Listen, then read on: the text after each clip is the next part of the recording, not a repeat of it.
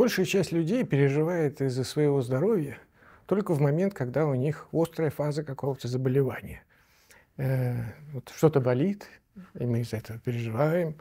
Значит, нам поставили какой-то диагноз, мы обратились к врачу, там, нам назначили лечение. Вот. вот период, когда большинство людей переживает э, за свое здоровье. Но есть люди, которые переживают и за свое здоровье, потому что у них э, диагноз, с которым им предстоит всю жизнь жить. И э, он пока мы не видим, да, как это можно полностью вылечить. Э, и с таким диагнозом, конечно, эта жизнь превращается в э, своего рода такой подвиг. Жить с пониманием того, что ну, болезнь – это то, с чем ты должен просто смириться да, то, то, что должен принять.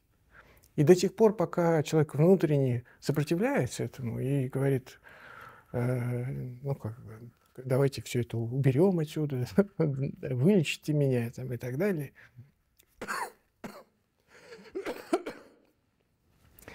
Э, и он внутренне сопротивляется болезни, э, он не будет чувствовать себя Э, не имеет никаких шансов чувствовать себя счастливым. Он будет просто действительно мучиться. И самое важное, когда у вас такое хроническое заболевание, которое сказывается на качестве вашей жизни, это внутренне принять это и понять это как естественное ограничение. Ну, в конце концов, у нас множество ограничений.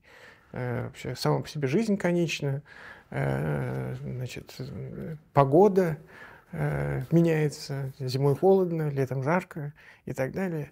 Э, есть ограничения, ну, мы не летаем с вами, нам для этого нужны специальные средства э, и так далее. И вот эта готовность к принятию болезни, не просто делать то, что необходимо для того, чтобы минимизировать э, какие-то издержки, это э, единственная верная тактика.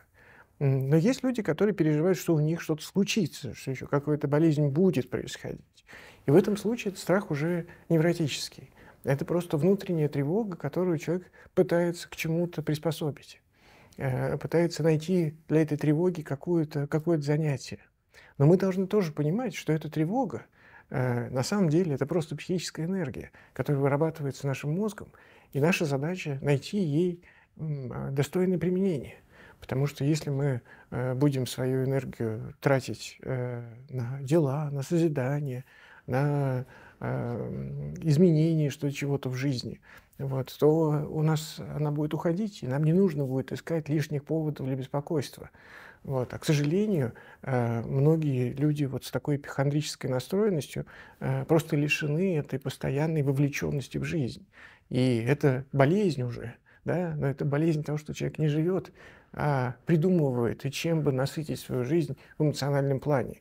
Он это делает несознательно, это все э, такие подсознательные механизмы, они все изучены там, и так далее. Но для нас это симптом.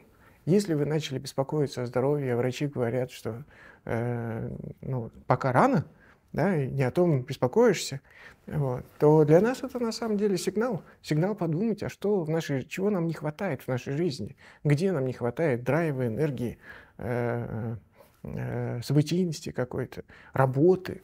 Вот. Э, и э, с таким подходом вы э, перенаправите просто свою энергию в конструктивное русло. Ничего не поделать. Наш мозг так устроен. Он производит постоянно психическую энергию. Вот. И производство этой психической энергии э, невозможно регулировать, как с атомным реактором. Вот. И наша задача просто найти применение. И как только мы находим, мы чувствуем себя живущими, а не болеющими.